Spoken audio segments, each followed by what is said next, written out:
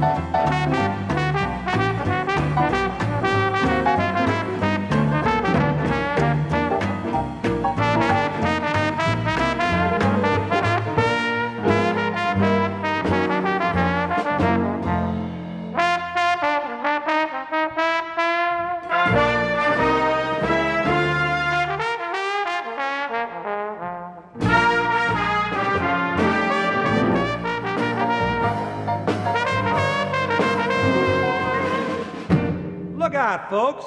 I'm going to take a trombone cadenza.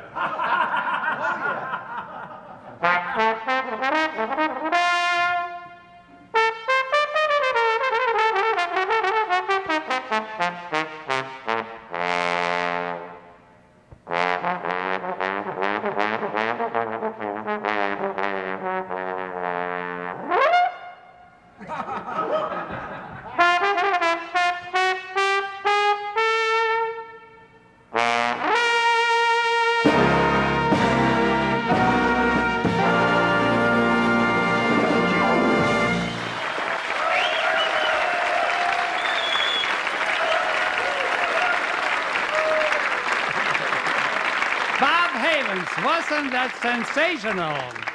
And from the high